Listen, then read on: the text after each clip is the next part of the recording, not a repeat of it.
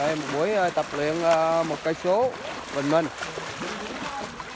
Hai anh em sinh đôi. Rồi, di chuyển quê luôn.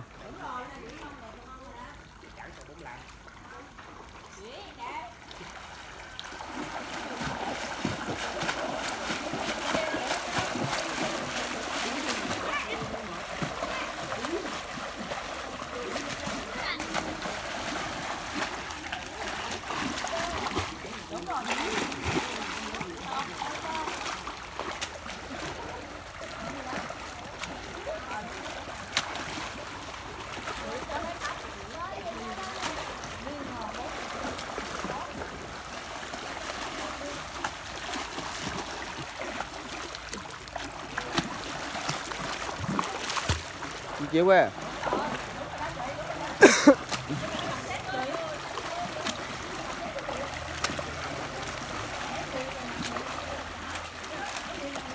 đây buổi tập luyện của ờ, hai anh em Bình Minh, Huy Long về ờ, Kim Loan.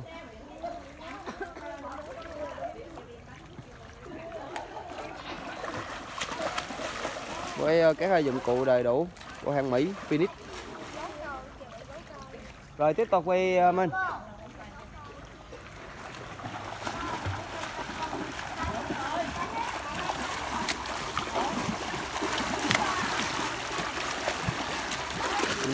Chân dịch à, của Ý.